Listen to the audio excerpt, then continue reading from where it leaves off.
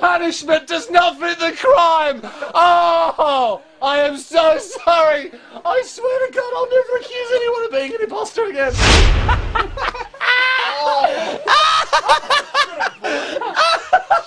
Damn it, mate. Bearhouse on me! Bearhouse! That's what you did. That's what you've done. You rub your face in what you've done, Mr. Lee.